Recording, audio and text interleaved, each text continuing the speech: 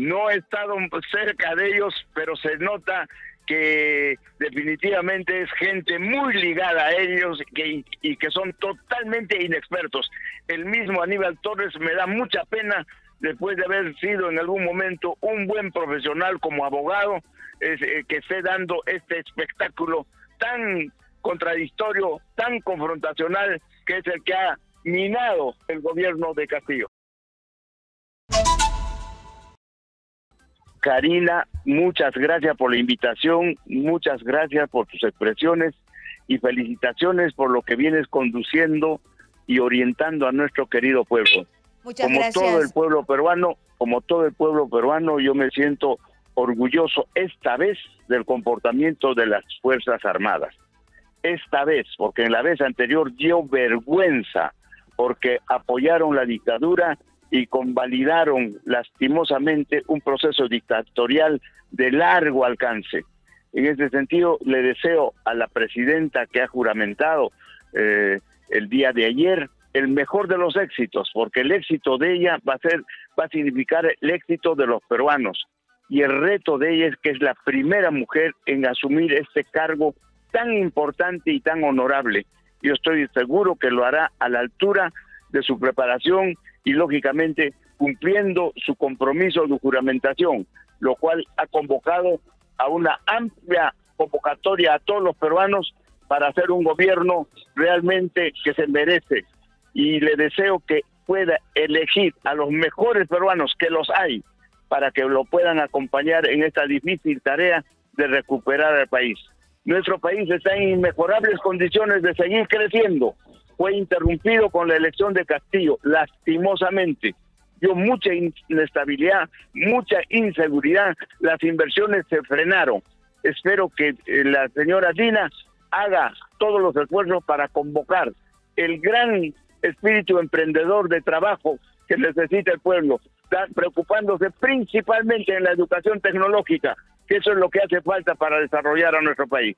Muy bien, pero aquí hay dos cosas que podrían ser preocupantes. Primero, que ella ha llegado con el gobierno de Perú Libre y de la mano de Pedro Castillo. Y además que se ha quedado, y con esas ideas, ¿no? Con esa ideología. ¿Usted cree que ha aprendido en el camino lo que le puede pasar si es que no habla, concerta, se trata de acercar a los que conocen el manejo estatal, a los mejores cuadros, porque también eh, el gran error de Pedro Castillo, además de estar lleno de corruptos, de poner gente que no sabía manejar los sectores, es no poder haber sacado el país adelante. Y eso se hace por falta de técnicos que sepan hacer lo suyo. Entonces, ¿usted cree que ella puede haber aprendido de su antecesor, es decir, no va a repetir estos errores porque sabe dónde puede terminar. Deseo de todo corazón que haya aprendido, de todo corazón patriótico, un espíritu cívico inquebrantable, que todos los peruanos tenemos la obligación de apoyar un proyecto de, de gobierno que sea de amplia base y que pueda convocar a todos los peruanos para que puedan concursar y, poner sus buenos oficios en beneficio del país. Los hay, pero hay que buscarlos, hay que irlos a buscar. Ellos no se ofrecen, hay que irlos a buscar para que colaboren con el con el desarrollo de nuestro país. Así, porque ofrecidos ya hay, ya, una lista bien larga de ofrecidos. Pero dígame usted, este, y esto de no tener bancada, porque hemos visto ya presidentes muy debilitados sin bancadas, ¿no? Eh, el, el, presidente PPK, ¿no? Este, era un presidente muy debilitado, o cuando la bancada fujimorista fue muy fuerte, ¿no? Entonces estaba más debilitado aún. En, ¿Cómo se puede manejar esto? Exitosa. Eh, yo creo que, que tenemos algunos indicios que nos hacen abrigar la esperanza que pueda corregir principalmente por el deslinde con el señor eh, Valdemar Cerrón y con el fundador de Perú Libre, cuando fue expulsada eh, del, partido Perú Libre. Eso es un buen indicio, quiere decir que no comulga con las ideas comunistas, socialistas, marxistas, leninistas del señor Cerrón. Eso es un buen indicio. Y lo otro es que ha podido definitivamente desligarse de, eh, este gobierno al no haber aceptado la presidencia del Consejo de Ministros en la persona de Betsy Chávez. Entonces son dos indicadores que nos hacen pensar que ha aprendido, que ha madurado y le deseamos, por el bien del país, el mejor de los éxitos. ¿Y usted cree que fue bien archivada esta denuncia constitucional donde ella en realidad se cruzaban sus funciones como ministra y como representante del club Apurímac?